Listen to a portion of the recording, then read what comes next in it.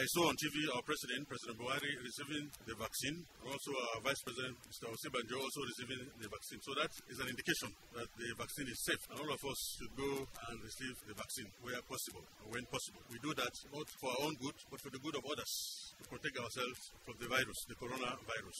Some people are nursing some fears because of some side effects from the vaccine. What's your take on this? Well, health workers and those who are in charge have convinced us that the usefulness of the vaccine, the effectiveness of the vaccine far outweigh the side effects. So there's nothing to fear at the end of the day because once you take the vaccine, you protect yourself and you protect others.